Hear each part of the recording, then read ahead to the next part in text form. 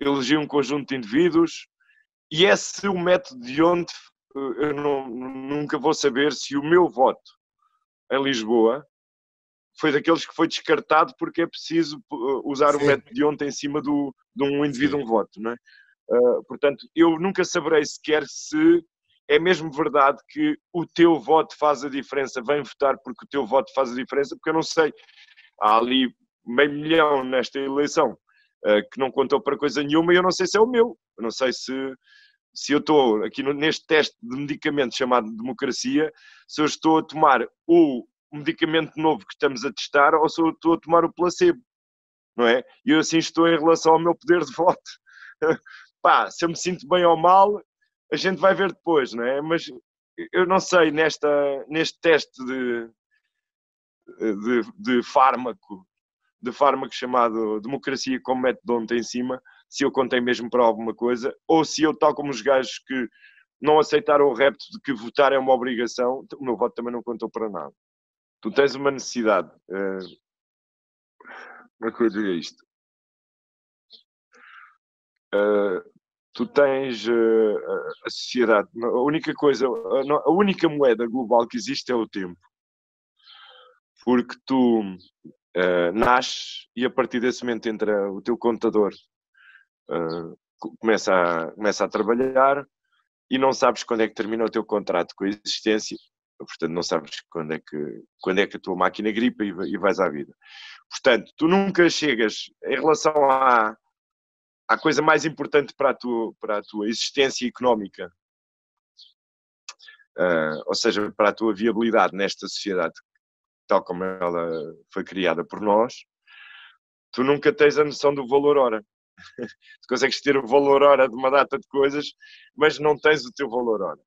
Portanto, tu quando fazes um negócio eh, de compra de qualquer coisa, tu basicamente estás a tentar, não sei se quantos de nós é que pensam nisso, tu estás a fazer uma aposta de que o valor hora, o meu valor hora para, para ganhar dinheiro para pagar aquela caneta ou aquele carro é mais ou menos intuído. Eu nunca sei exatamente quanto é que eu estou a pagar, porque o que eu estou a pagar é com o meu tempo, ele é finito.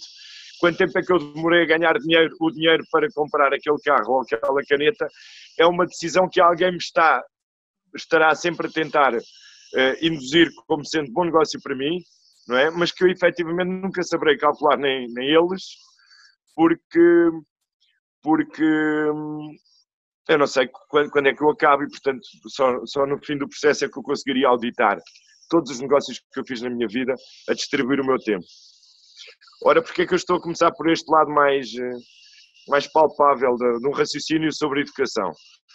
Porque, mais do que o processo de, de, de educação, eu, eu decidi que o que quero para o meu filho é que ele seja feliz. E, e agora toda a gente diz assim: que é que uma coisa liga com a outra. Isso é o que queremos todos, não é?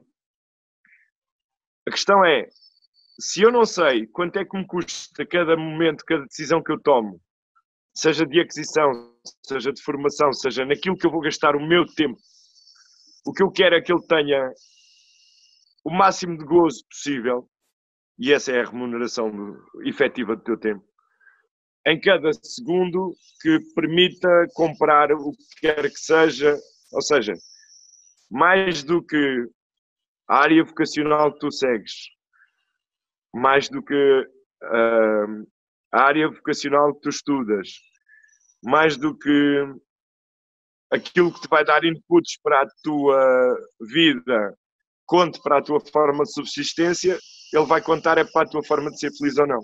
E eu nisso tive muita felicidade, que é, eu percebi claramente que me foi entregue à condição, este leasing, os, os filhos são, são mais parecidos com um leasing do que com uma, uma aquisição, não é? Porque nós, eles são os nossos filhos, mas eles não são nossos, não é? Eles estão-nos ali entregues por uns anos e ali mal muda a voz e começam a aparecer uns pelos de barba ou, ou, ou, ou mal a puberdade se instala, tu começas a perceber que aquilo de facto é um, é um leasing e que o seguro, de, o seguro de vida começa a ser muito caro ali a partir do, dos 15 anos de contrato, não é? Que Aquilo começa a ser, ou seja, são pessoas que nos estão entregues e as quais nós ajudamos a, a formar, a sustentar. Mas são pessoas, uh, são indivíduos com a sua identidade e a sua liberdade e a sua, se o seu desejo de identidade e liberdade é exatamente igual ao meu. Portanto, se o sistema clássico de ensino não me fornecer todas as oportunidades de lhe dar uma formação consentânea com os valores que eu acredito, não sei, acredito que sejam os melhores, ou com a substância que eu acredito, não sei, que sejam os melhores, é pá, eu vou ter que agir e vou ter que ir para procurar ao lado do sistema. O meu queria ser médico. Uh, tenho fotografias dele de bebezola, já mascarado médico. E já percebi que aquilo não é uma fixação, ele quer mesmo ser médico. Ele escolheu que a, que a forma de, de servir de servir a sua a sua índole e a comunidade é ser médico. E por esta ordem, que é ele para ser médico vai ter uma vida de cão, como ainda agora estamos a ver, escolheu ter uma vida de cão só há uma maneira de levar uma vida de cão em frente, que é tu conseguires tirar prazer desses, desses momentos de vida de cão que vais ter. Seria aplicável a jornalistas também. Ou seja, é a forma como ele vai gastar a sua riqueza, o seu tempo, é a fazer medicina. E aquela, a medicina será o interposto entre aquilo que ele quer ter além dela e nela uh, para se justificar enquanto indivíduo, para ser feliz.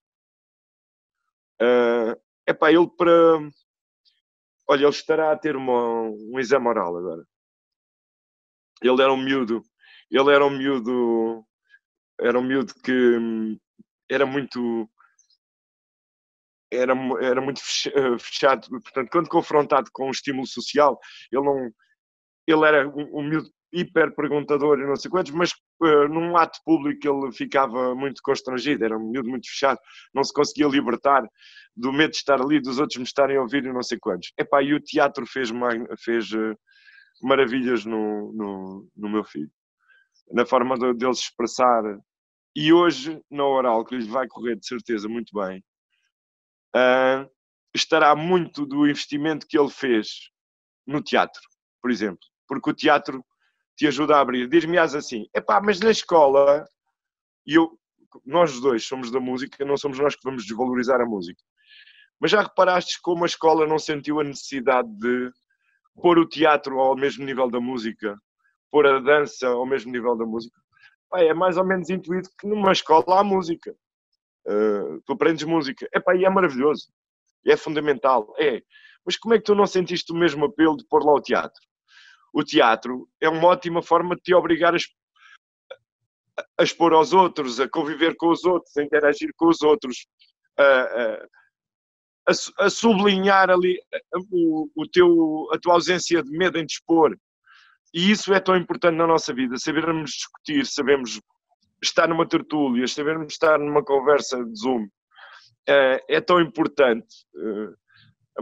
Há muitas vezes que o nosso ego assume o papel de epá, ele convidou-me aqui para esta conversa de Zoom, vai haver gente uh, potencialmente a ver isto, epá, vou dar aqui uma oportunidadezinha ao meu ego, pá, e vou-me aqui, vou parecer um gajo humilde, cordado, simpático e não sei quanto, e vou-lhe dar aqui uma oportunidadezinha de brilhar ao meu ego, é? Isto aqui é uma comunicação uh, que acontece muitas vezes, mas, na verdade, em todos os gestos dos mais dos mais verdadeiros da nossa vida, nós o que queremos mesmo é, é, é, fazer um processo de certificação da nossa capacidade de ser felizes. Há indivíduos que entregam ao ego essa, essa ferramenta porque são incapazes de o assumir. E eu ia agora aqui defender o teatro nesta circunstância porque vi claramente que ele foi muito importante para uh, o meu filho não precisar de que o ego é que o representa no ato público. Ele consegue partilhar-se no ato público, consegue estar lá, uh, consegue uh, uma ferramenta que o sistema tradicional não lhe deu e que ele encontrou, curiosamente, até foi na escola. O grupo de teatro dele é, chama-se uh, Clandestino e nasceu na clandestinidade numa escola, imagina. Mas porquê é que é preciso nascer numa clandestinidade numa escola? Porque ela não o tinha para oferecer sem ser clandestino. Uh, eu, o, e, e, portanto, a, a, confiar numa. Respondendo então agora literalmente à tua pergunta, uh, nós temos que ser inovadores na forma como encontramos soluções para os problemas daquilo que consideramos um, um, um, o sistema tradicional de ensino. É, se ele neste momento em que tu tens a necessidade absoluta, que é o momento em que tens um filho, não te está a servir na sua plenitude, tens de ser criativo e tens que ir à procura de outras ferramentas complementares. A necessidade de, de aprender cidadania falando com os outros, pontos aos outros, ouvindo os outros a, a expor-se, e mais uma vez usando a ferramenta do teatro, a expor-se, mas aprendendo que quando os outros expõem estão a sentir o mesmo que eu, é uma forma de cultivar, por exemplo, uma coisa nós estamos aqui os dois a fazer, mais ou menos, porque eu estou a falar mais do que tu, que se chama tertúlia, que é a capacidade de eu aceitar num grupo heterogéneo que aquele indivíduo fale de uma maneira diferente, que acha o mesmo que eu, ou acha uma coisa completamente diferente, e daquilo não ser propriamente uma agressão.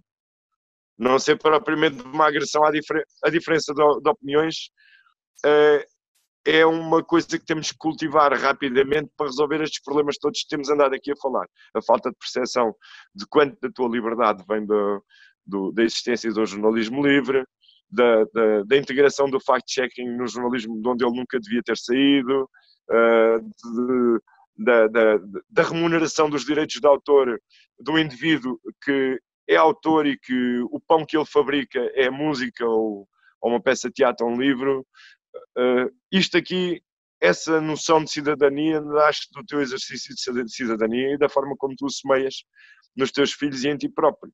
Uh, e se a escola não te ensina hoje a ter uh, cidadania, pelo menos já te ensina a separar os plásticos, que é maravilhoso. Mas, mas no, era, era mesmo fixe se tu não precisasses ir para o intervalo aprender que respeitar a opinião dos outros, uh, sair do sofá para para transformar a tua numa coisa válida para todos.